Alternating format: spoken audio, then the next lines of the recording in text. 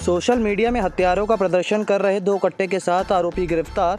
अमैया थाना पुलिस ने मानस भवन और अर्जुन नगर के ग्राउंड में की कार्रवाई। आपको बता दें कि अवैध असलाहों के खिलाफ चलाए जा रहे विशेष अभियान में दो बदमाशों को पुलिस ने पकड़ा है। उनसे असलाह बरामद हुए हैं। इनमें से एक आरोपी ने सोशल मीडिया में फ़ोटो हथियार के साथ पोस्ट की थी, जिसमें उवैस मंसूरी, पिता मोहम्मद आविस मंसूरी, उन्नीस वर्ष निवासी जवान सिंह कॉलोनी, सतना हाल मुकाम मलियान टोला गुड़ाही बाज़ार, रीवा, अपनी फ़ोटो सोशल मीडिया में डाली थी, जिसमें कट्टे का प्रदर्शन कर रहा था। ये फ़ोटो पुलिस ने संज्ञान में आई। इस पर एसपी बेग सिंह ने अमैया पुलिस को कार्रवाई के निर्देश दिए थे। पुलिस ने आरोपी को लोकेशन ट्रेस किया तो वह अर्जुन नगर मोहल्ले में मिली, जहाँ पर उसे घेराबंदी कर गिरफ़्तार किया गया है। आरोपी को थाने ले जाकर पूछताछ की गई तो अनारोपी मोहम्मद तौफीक मंसूरी उर्फ़ बादशाह, पिता अब्दुल हमीद मंसूरी 18 वर्ष, निवासी चिकानटोला थाना सिटी कोतवाली के पास भी कट्टा होने की जानकारी मिली, जिसे अमैया थाना पुलिस ने मानसवन के समीप घेराबंदी कर पकड़ लिया।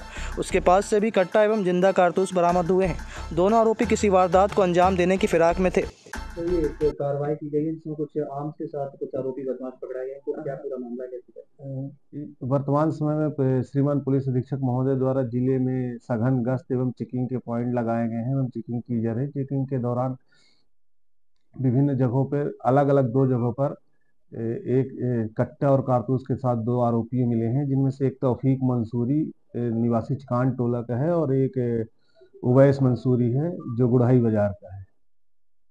पूर्व के मामले पूर्व के मामलों का पता लगाया जा रहा है। अभी वर्तमान में पच्चीस सत्ताईस आर्म्स एक्ट की कार्रवाई की गई और ये पता लगाया जा रहा है कि कट्टे इन्होंने कहाँ से प्राप्त किए उसकी जाँच की जा रही है। फिराक में कट्टे लेके थे।